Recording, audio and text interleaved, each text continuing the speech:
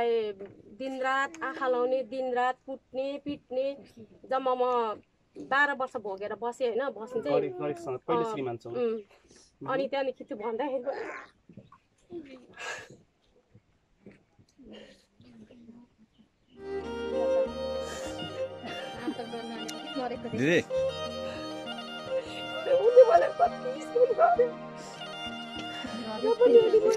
दिदी दिदी। छोराको सानो दोकानहरू दिएर बसेको गरेको थियो मारेको होइन मारेको तर चौध पन्ध्रजना खेतालाले देखेर म बाँचेको। केही पनि मैले गरिनँ मैले बाउ आमालाई पनि देखाइनँ कसैलाई पनि देखाइनँ तर गर्नु मैले गरिनँ मैले सञ्जालमा कहीँ भएन। यस्तो केही गरिनँ अनि त्यहाँदेखि त्यहाँको मान्छेले अनि त्यहाँदेखि चार पाँचजना मान्छेहरू बोलाएर अनि कागज पत्र बनायो। अबदेखि यस्तो गर्दिनँ भनेर मलाई हुनु चाहिँ मारेको त्यो श्रीमानले अहिले? अहिले उ त मलाई चाहिँ छ। मैले कति माया मार्ने खालको नै थियो तिमी चाहिँ त्यो किनभने पहिल्यैदेखि त्यस्तो नै थियो। अब कतिसम्म मलाई कुटेर कुटेर उता इन्डिया लग्यो दिल्ली लग्यो अब यता बाबामा मलाई त्यो माऱ्यो भनेर भने नि। अब त्यतिखेर चाहिँ अब श्रीमानसँग बोल्नु लगाइदिनु फकाएर होइन यता मेरो बाउ बाउहरूलाई यताउता गरेर फकाएर कागज पत्र बनाएँ म आजदेखि म यस्तो गर्दिनँ भनेर त्यस्तो गरेर अनि मलाई फेरि दिल्ली लग्यो दिल्ली लगेपछि उहाँ लगेर पनि दुई वर्ष त गोरु कुटाइ नै कुटेको कुटेकै ड्युटी जान्थ्यो बिचमा फर्केर आउँथ्यो अब म चाहिँ अब बहिनीहरूसँग त्यो नन्दहरूसँग होइन बिमारी भएर म यस्तो भाका जस्तै भएर आएँ आउने चाहिँ त्यतिखेर अब उसले नेपाल ल्याउने पनि कुरा गर्थेन अनि त्यहाँदेखि पछि मेरो माइतको बाउ गएर खोजेर अनि मलाई र लिएर आयो। अनि म उसलाई लिएर आएपछि अनि त्यहाँदेखि पनि आएर पनि अब उहाँबाट आउँदा त भाटा जस्तो भएर हुन त कसैले पनि मलाई चिन्नै सकेन। अब आमा बाउहरू रुयो बडाहरू बडीमाहरू नि रुयो के भयो यो भनेर तर मैले त्यो सबै कुराहरू बताइनँ। त्यति ठुलो। तपाईँलाई पहिलो श्रीमानले तपाईँलाई चाहिँ पीडा दिनुहुँदो रहेछ होइन? आमा बुवा हुनुहुन्थ्यो माइतीहरू हुनुहुन्थ्यो महिला सञ्जालहरू थियो सम्बन्धित निकाय नेपाल प्रहरीहरू पनि थियो है? उजुरी बाजुरी चाहिँ किन नगर्नु त्यतिखेरको उमा त्यस्तो उ नै थिएन नि त त्यति साह्रो उयो नै थिएन नि त गर्ने तपाईँको थिएन? किन लुकाउनु भयो यति ठुलो पीडा तपाईँले किन भयो पहिलो श्रीमानसँग पीडा। अब कहाँबाट अब आफूले अब इज्जत हुन्छ अब भन्थ्यो होइन अब माइतदेखि उता घरदेखि ऊ माइत जाँदाखेरि यस्तो कोसेली बोकेर नजानु यस्तो त्यस्तो भनेर भन्थ्यो। त्यही भएर मैले यता केही मैले माइती घरमा सुनाउँदिनँ थिएँ सुनाउनु चाहिँ। तपाईँले अहिले तपाईँको चाहिँ श्रीमानको जेठी श्रीमतीको चाहिँ श्रीमान होइन अहिलेको शक्ति भन्ने है उहाँ हुनु- हुनुहुन्छ तपाईँको श्रीमान। तपाईँको चाहिँ सौता जेठी सौता होइन? के अरे नाम? उहाँको। के अरे नाम? ससिता राईलाई तपाईँले एउटा धोका दिनुभयो है। एउटा घरबार बिगार्नुभयो म- परिवार बिगार्नु भयो अब तपाईँहरू के के गर्दै हुनुहुन्छ दुईवटा छोरा छ। तपाईँले त्यो दुईवटा छोरालाई के गर्दै हुनुहुन्छ तपाईँ मिलेर। अब गणेश। एकछिन है थोरै म मात्रै बोल्छु। हेलो नमस्ते। के छ लुङ्गालु? सुनाउ सुनाउ हामी यहाँ त अन्तर्वार्तामा छौँ कि? अनि के हो तपाईँको? पनि कुरा यहाँ जोडियो। तपाईँको श्रीमती हुनुहुन्छ अरे सोनु राई।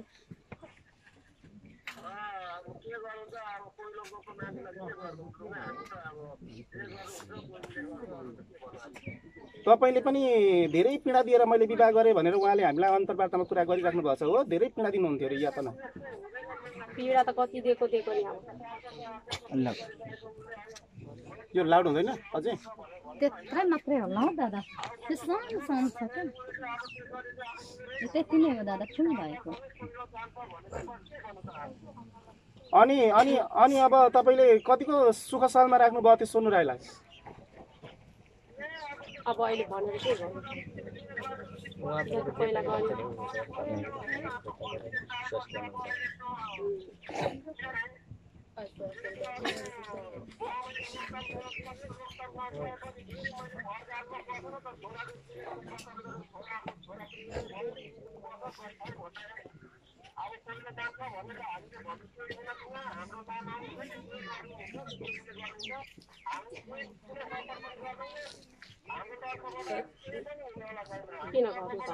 तपाईँ तपाईँ यहाँ प्रत्यक्ष रेकर्डेड भिडियोमा हुनुहुन्छ इन्टरभ्यूमा हुनुहुन्छ तपाईँको नाम नमिसी हामी नखुलाउँला। तर तपाईँले तपाईँसँग हामी कुराकानी गरिरहेका छौँ। बच्चा छ अरे तपाईँको एउटा छोरा छ अरे अनि तपाईँलाई श्रीमतीले छोड्नुको कारण चाहिँ के हो?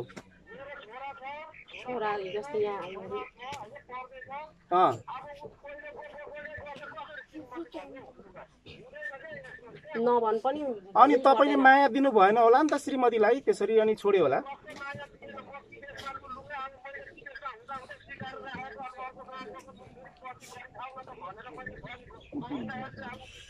तपाईँले त पिट्नुहुन्थ्यो अरे नि त। कुटेर गरुवा खोलामा फ्याँके गरी मारेर हो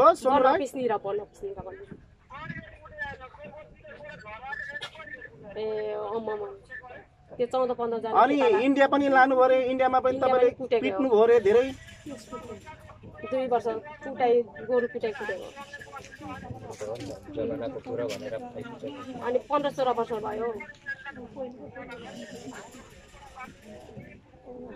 तपाईँ के के भन्न चाहनुहुन्छ? तपाईँ के भन्न चाहनुहुन्छ? तपाईँको श्रीमा श्रीमती त शक्ति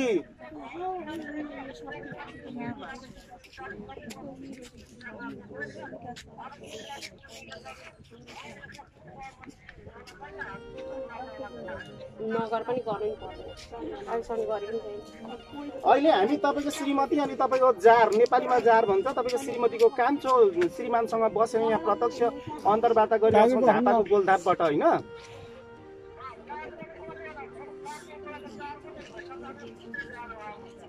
त्यसको पनि कतिवटा कतिवटा। तपाईँले पनि पहिला विवाह सोनु राईलाई गरेपछि विदेशमा विवाह गर्ने काम गर्नुहुन्थ्यो? कति गरेर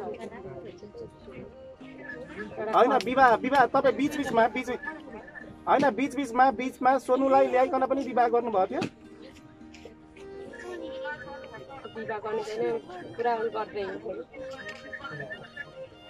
कतिौँ पटक हो विवाह तपाईँको पहिलो पटक होला होइन सोनु राईसँग? मभन्दा अगाडि एकपल्ट।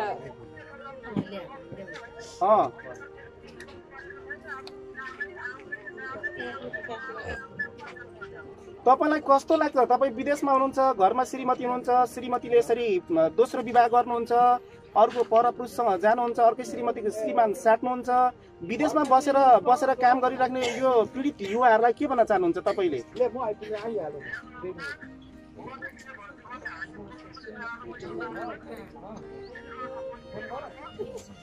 अँ।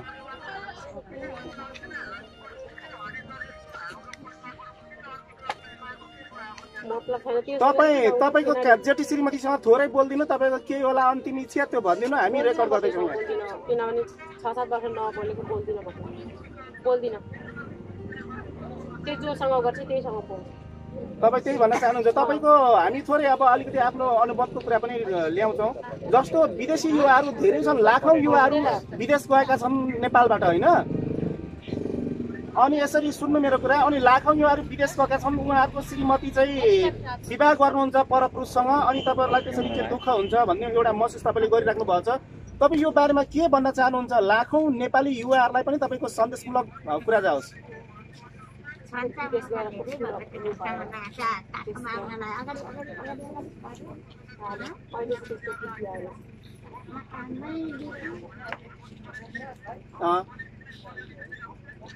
विदेश गएर पनि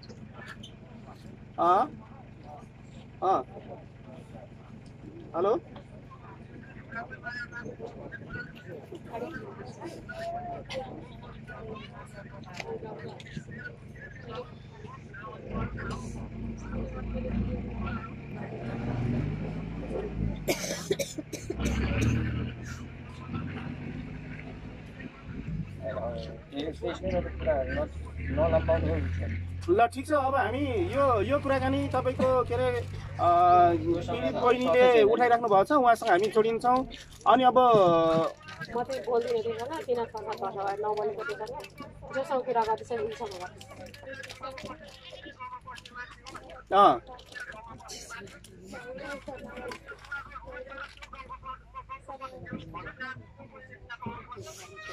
हिँडेर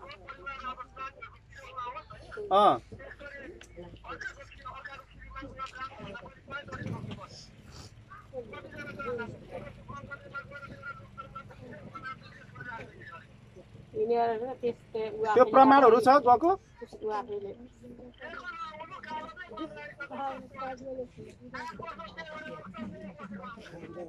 प्रमाण तपाईँसँग छ। छैन पाउने छैन किन तपाईँले आरोप लगाइराखेको भने चाहिँ राम्रो हुँदैन। आरोप लाउनु भएको भए।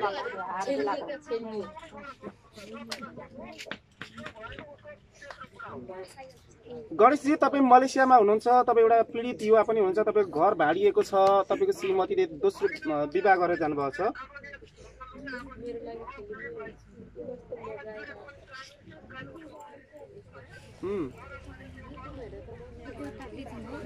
तपाईँ तपाईँले तपाईँले मलेसियाबाट पैसा कमाएर पठाएर सुख शान्त राखेँ भन्नुभयो। उहाँले अनि कति लानुभयो तपाईँको सम्पत्ति विवाह गरेर जाँदा सोध्नु गएको छैन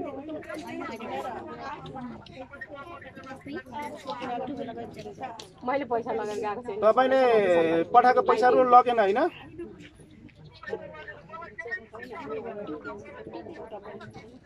भनेपछि तपाईँको चित्त दुखाइ छैन केही पनि छैन सोनु राईसँग तपाईँको श्रीमतीसँग केही चित्त दुखाइ छैन। ल। तपाईँ मलेसियाबाट हामीसँग जोडिनुभयो यो विषयमा जोडिनुभयो तपाईँले हाम्रो अनलाइन टेलिभिजनमा इन्टरभ्यू दिनुभयो आफ्नो गुनासाहरू राख्नुभयो। गणेशजी तपाईँलाई धेरैभन्दा धेरै धन्यवाद छ। हामी बिदा हुन चाहन्छौँ है। ओके ओके गुड बाई तपाईँको कुरा हेर्नु होला हाम्रो विभिन्न अनलाइनमा आउँछ भोलिबाट।